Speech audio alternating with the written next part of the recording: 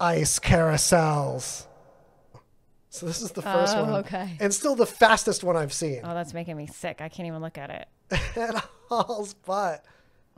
And look at what a big gap they have to jump over, hopefully, to make it. That is so dangerous. Who would put a child on that? But wait, there's more. How did it get like that?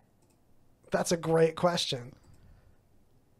Through these other ones that get escalatingly more epic, I'll show you.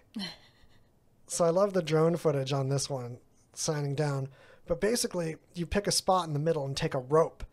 And then some people put a spray paint can on the rope or something like that. And you just go in a circle from that point with the same length of rope. So you get this circle mapped out and then chainsaw it up. Okay. So this is safe for you to be on in the middle? Like you're not going to fall through or super safe because the ice is very floaty. I love how they synced the drone spinning to the thing. So what we're seeing here is a circle of cut out of the ice that's as wide as a house. And oftentimes to get it going, they cut a hole. This person, uh, this time they just are stomping on it, um, pushing on a pole and then kicking. But some people have used an outboard motor I love it in the dark. See the light spinning there? it is pretty, but it's scary to me.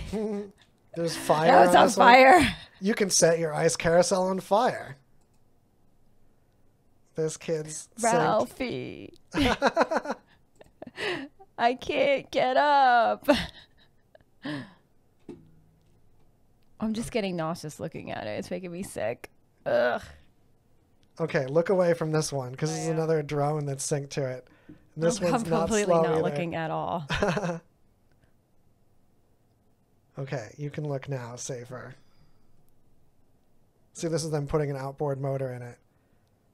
This one's got some spooky gaps to fall into on the edge. That's frightening. I would never let my child on that. They ever fell between. Forget it. Oh gosh, you get in between, you're like grinded up by ice and also stuck under there because you're not going to stop it spinning. That's a terrible, terrible way to die. Look at these people. They're having s'mores. Like, Yeah, cooking hot dogs on it. oh my God.